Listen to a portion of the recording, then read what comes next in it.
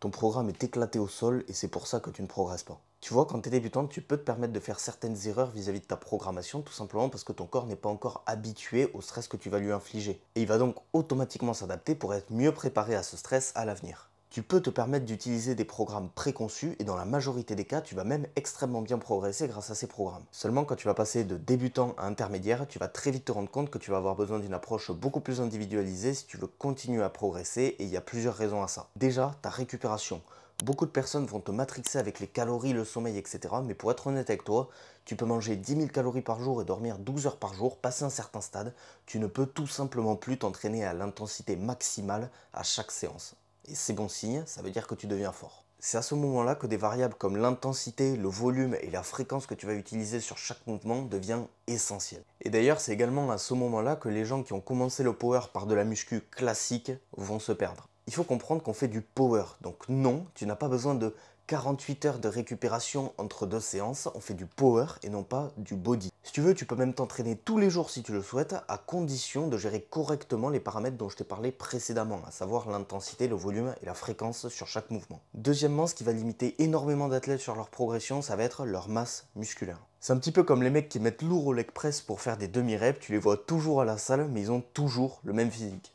Pour combler ce problème, la solution c'est pas forcément d'avoir une amplitude énorme sur tes mouvements de compétition, rien ne t'empêche de garder l'amplitude que tu as actuellement, mais en parallèle, aller chercher peut-être différentes variations de compétition, voire des mouvements complémentaires qui vont te permettre d'aller chercher une plus grosse amplitude. C'est d'ailleurs une des raisons pour lesquelles je suis vraiment pas fan de la programmation SBD only, en particulier chez les débutants, parce que la plupart des athlètes qui programment de cette façon se retrouvent skinny et nuls. Qu'est-ce que tu dirais si je te propose de t'accompagner personnellement grâce à un suivi adapté à tes horaires de travail, à tes capacités de récupération, à tes blessures potentielles si tu en as, à tes objectifs courts, moyens et long terme? Le tout avec un suivi régulier pour t'assurer d'avoir la meilleure technique possible, mais aussi avec la garantie d'augmenter ton total de 50 kg sur les 3 prochains mois. Dans le cas où tu n'es pas satisfait du suivi, je m'engage également à te rembourser intégralement le premier mois de suivi de façon à ce que tu ne prennes aucun risque financier. Si tu es intéressé, il te reste plus qu'à cliquer sur le premier lien dans la description pour réserver un rendez-vous d'information gratuit avec moi pour en discuter. Troisièmement, il va falloir que tu priorises un petit peu plus ton entraînement dans ta vie. Concrètement, ça se résume à caler les bonnes séances au bon moment. Je vais te donner un exemple très simple. Imaginons que tu travailles 8 un jour et le lendemain tu fais absolument rien. Ben, c'est probablement une bonne idée de mettre la séance sur le jour où tu fais rien plutôt que le jour où tu travailles 8 heures. Tu auras forcément plus d'énergie. Maintenant, ça ne veut pas dire que parce que tu fais ta séance sur le jour de repos, tu vas être absolument exceptionnel et tu vas faire des dingueries.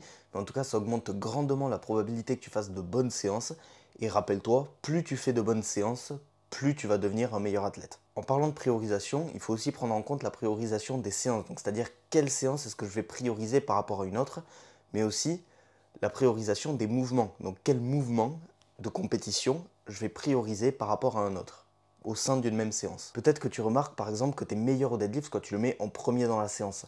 Ça paraîtrait logique que quoi qu'il arrive, le premier mouvement que tu mets dans la séance, c'est là où tu vas être le plus fort parce que justement tu le fais en premier et tu as un maximum d'énergie, mais c'est pas toujours le cas. Dans mon cas, je sais par exemple que euh, si je fais le deadlift en dernier dans la séance, c'est là où je suis le plus productif.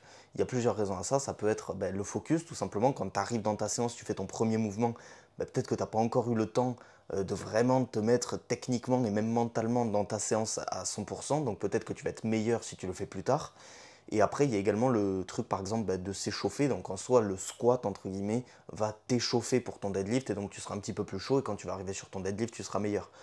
Ça fonctionne pour moi. Ça ne veut pas dire que ça fonctionnera pour toi, d'accord? Mais il faut comprendre que chaque personne va être différente. Donc, il ne faut pas automatiquement te dire, en compétition, c'est squat, bench, deadlift. Donc, je vais tout le temps m'entraîner dans cet ordre-là. Ça ne fonctionne pas toujours pareil. Tous ces facteurs dont je te parle, ils peuvent te paraître insignifiants, mais je peux t'assurer que plus tu progresses, plus ils vont prendre de l'importance. D'ailleurs, un autre facteur à ne surtout pas négliger si tu veux devenir fort, c'est les temps de repos. Et ça tombe bien, tu peux cliquer juste ici pour retrouver la vidéo complète que j'ai fait à ce sujet.